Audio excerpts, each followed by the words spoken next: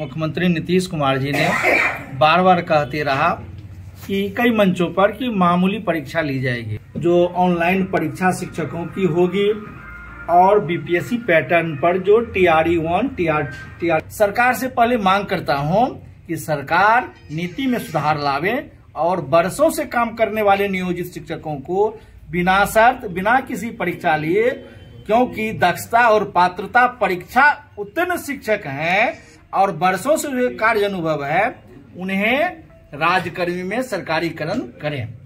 तो अभी आप देख रहे थे कि प्रदेश अध्यक्ष प्रदीप कुमार पप्पू द्वारा मांग किया गया है कि वर्षों से कार्यरत नियोजित शिक्षकों को बिना शर्त राजकर्मी का दर्जा दिया जाए और सक्षमता परीक्षा से मुक्त किया जाए। इससे पहले आपको बता दें कि उप मुख्यमंत्री सम्राट चौधरी से एक वार्ता हुई थी जब विपक्ष में थे।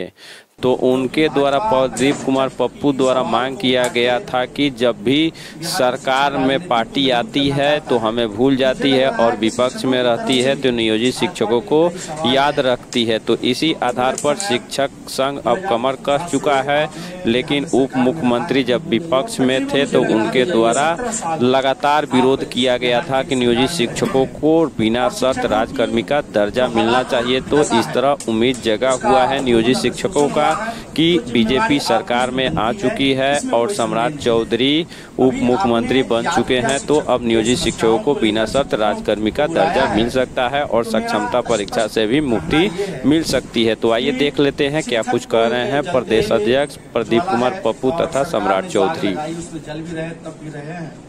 और अगर आप मलहम लगाना चाहते हैं तो आपको पहले तय करना पड़ेगा, दिखाना पड़ेगा, अभी तक आपने शिक्षकों की जो विश्वास खोई है सत्ता में रहकर उसको पहले आपको भरपाई करना पड़ेगा।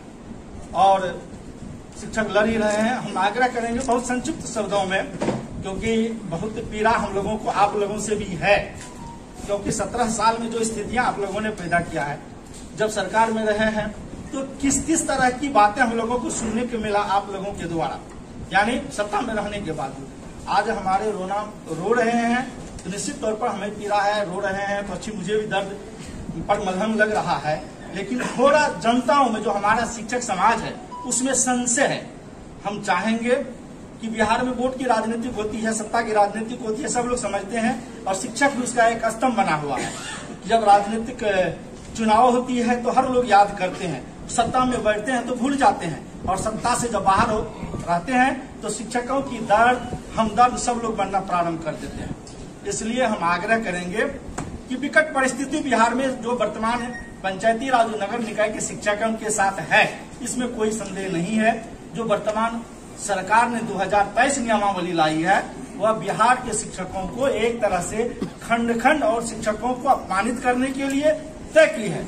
इसलिए हम आग्रह करेंगे कि आपको शिक्षकों की लड़ाई को अपने राजनीतिक दल की ओर से और विपक्ष के तौर पर मजबूती से लड़ के दिखाना पड़ेगा। तो इस वीडियो में आप सभी ने देखा कि कैसे बीजेपी जब विपक्ष में थी तो प्रदेश अध्यक्ष प्रदीप कुमार पप्पू द्वारा मांग किया गया था विशिष्ट शिक्षक नियमावली को हटाने को लेकर। तो अब आपको बता दें कि बीजेपी सरकार में उप मुख्यमंत्री बन चुके हैं सम्राट चौधरी और निश्चित रूप से नियोजित शिक्षकों के लिए यह अच्छा पल होगा और विशिष्ट शिक्षक नियमावली में परिवर्तन होगा और बिना शर्त नियोजित शिक्षकों को मिल सकता है राजकर्मी का दर्जा। तो वीडियो में इतना ही। वीडियो में लास्ट तक बने रहने के लिए बहुत बहुत धन्यवाद।